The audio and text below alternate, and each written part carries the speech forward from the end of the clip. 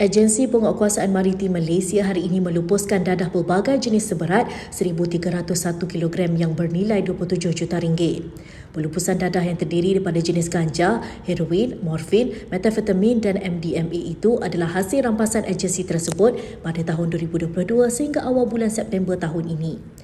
Rampasan tersebut dilakukan oleh Maritim Malaysia Negeri Kedah dan Perlis, Zon Maritim Kuala Kedah, Zon Maritim Tanjung Sedeli Johor dan Zon Maritim Batu Pahat Johor. Timbalan Ketua Pengarah Pengurusan Maritim Malaysia, Khairul Anwar Bacuk berkata, pelupusan dadah itu dilaksanakan selepas Maritim Malaysia menerima perintah rasmi mahkamah untuk dilucut hak setelah kes berkenaan selesai dibicarakan. Sementara itu, menurut Khairul Anwar, mengikut statistik pihaknya sejak tahun 2008 sehingga bulan September tahun ini terdapat 84 Sementara itu, menurut Khairul Anwar, mengikut statistik pihaknya, sejak tahun 2008 sehingga bulan September tahun ini, terdapat 88 kes melibatkan sebanyak lebih 168 juta ringgit nilai barang kes telah dirampas.